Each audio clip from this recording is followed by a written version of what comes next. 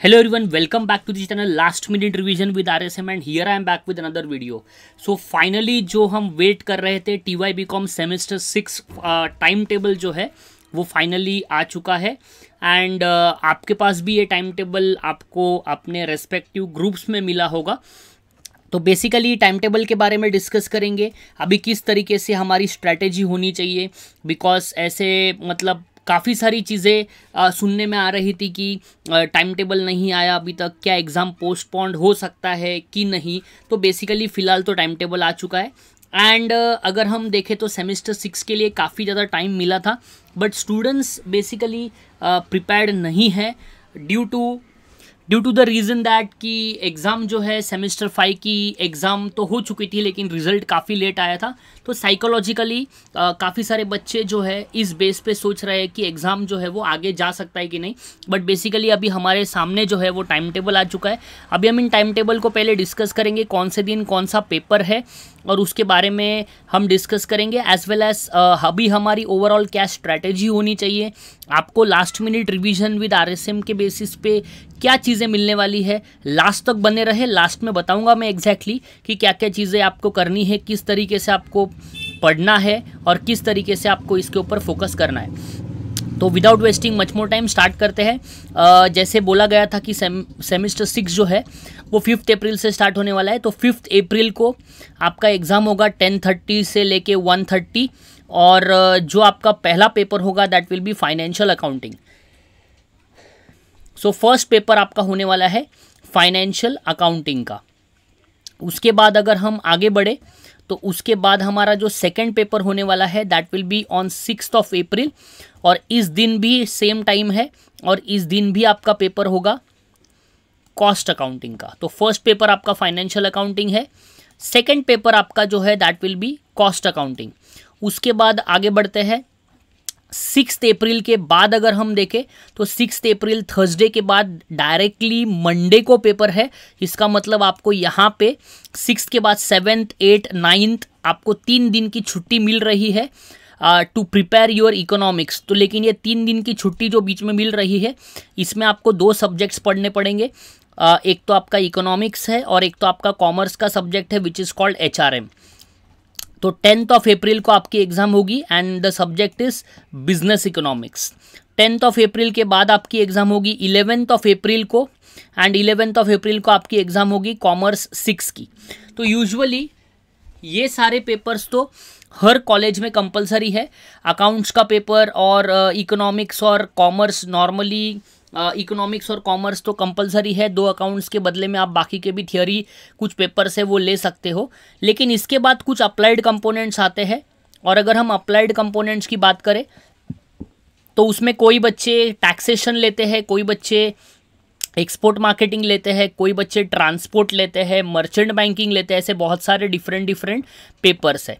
तो twelfth April को आपका एग्ज़ाम होगा डायरेक्ट टैक्स का डायरेक्ट एंड इनडायरेक्ट टैक्स मतलब इस इस बार तो अभी इनडायरेक्ट टैक्स है दैट इज़ कॉल्ड जीएसटी तो ट्वेल्थ अप्रैल को आपको वो पेपर देना है। उसके बाद थर्टीन अप्रैल को एक्सपोर्ट मार्केटिंग है, जिनका भी एक्सपोर्ट मार्केटिंग नहीं है, उनको थर्टीन अप्रैल को छुट्टी रहेगी। थर्टीन अप्रैल को बाकी के भी बहुत सारे ऑप्शनल पेपर्स आपको यहाँ पे दिख रहे हैं। थर्टीन अप्रैल के बाद अगर हम देखें तो डायरेक्टली फिर पेपर होगा, जिनका कंप्यूटर का पेपर है उनका पेपर होगा सेवनटीन ऑफ़ अप्रैल और सेवनटीन ऑफ़ अप्रैल को पेपर होगा कंप्यूटर सिस्टम्स एंड एप्लीकेशंस सत्रह तारीख को। और जिनका सब्जेक्ट कंप्यूटर नहीं है उनके सब्जेक्ट्स फिर आगे आपको इस तरीके से सब्जेक्ट्स है लेबर वेलफेयर है साइकोलॉजी है किसी का अगर कोई और डिफरेंट सब्जेक्ट है जैसे कि कुछ बच्चों का सब्जेक्ट होता है ई e का तो ई e का पेपर फिर उन्नीस अप्रैल को आ जाएगा। और आ, किसी का टीयू का पेपर होता है तो ट्रेड यूनियन का पेपर जो है वो आपका बन जाएगा 19 अप्रैल को। तो अगर ये सारे सब्जेक्ट्स हैं आपके जो मैंने अभी डिस्कस किए तो रेस्पेक्टिव डेट्स तो आपको यहाँ पे दिए ही है, वो तो आप खुद भी यहाँ से पढ़ के कर सकते हो। और अगर आपका पेपर समझो फॉर एग्जांपल आपने मार्केटिंग रिसर्च लिया है, या आपने परचेजिंग एंड स्टोर कीपिंग लिया है तो आपका यूजुअली जो एग्ज़ाम है लास्ट पेपर यहाँ पे 24 तारीख तक आपका एग्ज़ाम यहाँ पे ख़त्म हो रहा है। और इन्होंने A K T sem five की डेट भी दी है and that is AT K T की जो डेट इन्होंने डाली है and that is twenty fifth of April तो जैसे ही उसका टाइम टेबल आएगा, वैसे वो भी हम इस चैनल पे डिस्कस करेंगे एग्जैक्टली exactly कि किस तरीके से वो टाइम टेबल आता है. तो फ़िलहाल ट्वेंटी फिफ्थ ऑफ़ अप्रैल जो है that will be your AT के टाइम टेबल जैसा इन्होंने डेट्स दिया था, उसी के बेस पे ये टाइम टेबल इन्होंने दिया है. तो नाव आपको काफ़ी ज़्यादा मेहनत करनी है. आपको हर दिन, एक दिन, दो दिन जैसे मेहनत करनी है और अगर आप इसमें अच्छी तरीके से प्रिपरेशंस करोगे टाइम का मैक्सिमम यूटिलाइजेशन करोगे तो आपको काफ़ी अच्छे मार्क्स मिलेंगे। अब, सबसे पहला क्वेश्चन इस चैनल को जो मैंने बनाया है last minute revision with R S M last minute revision with R S M एक ऐसा चैनल है जो लास्ट मिनट रिवाइज करने के लिए बच्चों को काफ़ी हेल्प करता है। अभी हमारे कुछ बच्चे होते हैं कि जो कुछ प्रिपरेशंस नहीं करते हैं लास्ट मोमेंट में यहाँ वहाँ से चीज़ें ढूंढते रहते हैं एंड अकॉर्डिंगली अगर हम देखें तो कंफ्यूज हो जाते हैं। तो उसके लिए फ़िलहाल मैंने एक ऐप बनाया है और अगर आप ऐप देखो तो मैं आपको ऐप बताता हूँ। Exactly last minute revision with RSM का ऐप आपको प्ले स्टोर पर ढूंढना है और उसमें आपको कोर्सेस में जाना है। कुछ कोर्सेज भी मैंने यहाँ पे बनाए हैं। फ्री के वीडियोस आपको यूट्यूब पे मिल जाएँगे, जिनको कुछ स्ट्रक्चर फॉर्मेट में चाहिए। काफ़ी नॉमिनल फ़ीस रखा है। अगर आप इंटरेस्टेड है तो ये आप कोर्सेज चेक करें। अगर आप यहाँ पे जाएँगे कंटेंट सेक्शन में जाएँगे, देखो यहाँ पे पूरा का पूरा फॉरेन करेंसी के वीडियोज़ हैं। सारे चीज़ें यहाँ पे मैंने दिया है। सारे चीज़ें आपको यहाँ पे मिल जाएगी। हर चैप्टर वाइज वीडियोस आपको मिल जाएँगे। मतलब जिनको ये कन्फ्यूज़न होता है कि लास्ट मोमेंट में हम क्या पढ़े, ऐसी कौन सी चीज़ है, उसके ऊपर फोकस करें, ताकि मेरा ये जो एग्ज़ाम है वो क्लियर हो जाए। देखो, आपको जितना ज़्यादा पढ़ाई करोगे, उतना आप स्कोर कर पाओगे। लेकिन अगर आपको कुछ भी चीज़ें नहीं आती तो आप ये कोर्स जो है, वो मैंने प्रिपेयर किया है, या कोर्स ले सकते हैं, या आप कोर्स चेकआउट करें। ये कोर्स फ्री नहीं है एक्चुअली जस्ट एक नॉमिनल फ़ीस रखा है। If you are really interested तो आप घर बैठे भी इसको एनरोल करके आप इसमें से आपके टी की प्रिपरेशन जो है वो कर पाएँगे। तो काफ़ी सारे वीडियोस इसमें आपको मिलेंगे और हर चैप्टर वाइज वीडियोस मिलेंगे। वैरायटीज़ जितने यूनिवर्सिटीज़ में कवर होती है, सारी चीज़ें यहाँ पे आपको बताई गई है। तो this is one of the course of financial accounting जो आप यहाँ से लेके प्रिपरेशन अपना स्टार्ट कर सकते हैं और काफ़ी सारी चीज़ें आपकी इसमें से रिवाइज हो जाएगी। दूसरा जो एक कोर्स आपको यहाँ पे मिलेगा and that will be GST total thirty nine videos है इसमें। थर्टी फाइल्स है, कुछ मॉक टेस्ट भी डाले हुए हैं। और इसमें आप अगर कंटेंट देखोगे तो काफ़ी बड़ा बड़ा सा कंटेंट इसमें आपको मिलेगा। सब कुछ चीज़ें हैं जो यूजुअली प्रीवियस ईयर के पेपर्स में क्वेश्चंस पूछे गए हैं, किस तरीके से क्वेश्चंस आते हैं, वो सारी चीज़ें आपको इसमें मिलेगी। और रिविजनरी वीडियोस भी आपको इसमें मिलते जाएँगे। एम भी इसमें दिए हैं कुछ प्रैक्टिस करने के लिए। एम भी यहाँ पर आपको मिल जाएँगे।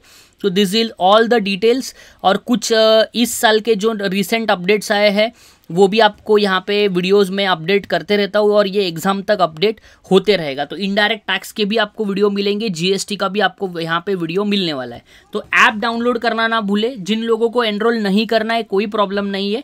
आप एनरोल मत करें, लेकिन आप ऐप डाउनलोड करके रखें बिकॉज़ जितनी पी है, जितनी सारी चीज़ें हैं, वो मैं सारी चीज़ें ऐप में शेयर करते रहता हूँ। और ऐप में ऐसा नहीं है कि आपके लिए सारी चीज़ें पेड है। यहाँ पे अगर स्टडी मटेरियल का टैब हम देखें तो स्टडी मटेरियल में काफ़ी सारी चीज़ें आपको फ्री में भी मिल जाएगी। तो बहुत सारे वीडियोस आपको यहाँ पे फ्री में मिल जाएँगे। तो फ्री में भी आप अगर कुछ वीडियोस लेना चाहते हैं तो ये फ्री में भी वीडियो मिल जाएँगे। टी वाई बी कॉम देखो, ये सारे टी वाई बी कॉम के एम सी क्यू सीरीज़ आपको यहाँ पे मिल जाएगी। ये this will be just to revise कि आपको अगर फ्री में कुछ चीज़ें लेनी है तो आपको यहाँ पे सारी चीज़ें फ्री में भी मिल जाएगी। तो अगर आप ऐप डाउनलोड कर लेते हैं तो उसका बेनिफिट आपको ही मिलेगा। ऐप डाउनलोड करें। कोर्स में अगर इंटरेस्टेड है कुछ भी नहीं पढ़ाई किया है तो ये कोर्स में एनरोल करें। और अगर आ, सारी चीज़ें आपने पढ़ी है सिर्फ़ रिवाइज करना है तो भी आप कोर्स ले सकते हैं। और अगर वो भी नहीं लेना चाहते तो स्टडी मटेरियल में जाइए फ्री सेक्शन में जाइए सब कुछ आपको यहाँ पे फ्री का भी बहुत सारी चीज़ें आपको यहाँ पे मिल जाएगी। तो अब हम रेगुलर बेस पे वीडियोस में आपको देने वाला हूँ। जैसे कि आपने देखा ये टाइम टेबल जो है ये आपके पास अभी अवेलेबल है और ये टाइम टेबल अगर आपके पास अवेलेबल है तो एक माइंडसेट हमारा प्रिपेयर हो चुका है कि हमें अभी कुछ भी हो जाए प्रिपरेशंस करना है। तो अभी आपको आज से ही अपना टाइम टेबल बनाना है, आज से ही आपको अपनी पढ़ाई जो है, वो थोड़ी और एक्स्ट्रा बूस्ट करके पढ़नी है बिकॉज़ अगर आप आज से अच्छी तरीके से प्रिपरेशंस करने के लिए एक सिस्टमैटिक प्लान नहीं बनाओगे तो आपको फिर काफ़ी सारी दिक्कतें हो सकती है एग्ज़ाम में। और सेमेस्टर सिक्स जो है, उसमें आप अगर फेल होते हो तो कहीं ना कहीं आपका वो एटीकेटी एग्ज़ाम फिर अगले बार आ जाएगा। सेमेस्टर फाइव में कुछ बच्चे क्लियर नहीं हो पाए तो उनको अभी एक रीचांस मिल रहा है। एटीकेटी एग्ज़ाम एडिशनल एग्ज़ाम फिर से आ रहा है। तो मैं यही चाहता हूँ कि सेम सिक्स में आप बहुत ज़्यादा मेहनत करें। एवरी डे आप बहुत सारी चीज़ें पढ़े बिकॉज़ अगर पिछला कुछ भी बैकलॉग रहेगा आपका तो वो सारी चीज़ों को आप पहले कंप्लीट करने का ट्राई करें, फिर रिवाइज करें बिकॉज़ जितनी सारी चीज़ें आप इसमें पढ़ोगे, उतना आपका रिवीजन भी हो जाएगा। और रिविजनरी वीडियोस मैं चैनल पे अपलोड करते रहता हूँ। फाइनेंशियल अकाउंटिंग का एक प्लेलिस्ट है इनडायरेक्ट टैक्स का एक प्लेलिस्ट है, वो सारी चीज़ें देखिए कॉस्टिंग के वीडियोस बनाए हैं। जिनको ये डर लगता है कि अभी मुझे कुछ नहीं आता है, क्या करूँ? आप सारे वीडियोस देखिए, आपको काफ़ी अच्छा बेनिफिट होगा और मैं मेरे साइड से और भी वीडियोस आपके लिए अपलोड करने ही वाला हूँ। तो वो भी आपको मिलते ही रहेंगे। जल्दी से जल्दी वीडियोस के साथ मिलते हैं और अगर ऐप डाउनलोड नहीं किया है तो ऐप डाउनलोड कर ले बिकॉज़ आपको वहाँ पे बहुत सारी चीज़ें एग्ज़ाम ओरिएंटेड मिलने वाली है। Thank you very much next part में मिलते हैं with some revisionary sessions with some revisionary videos thank you all of you bye bye take care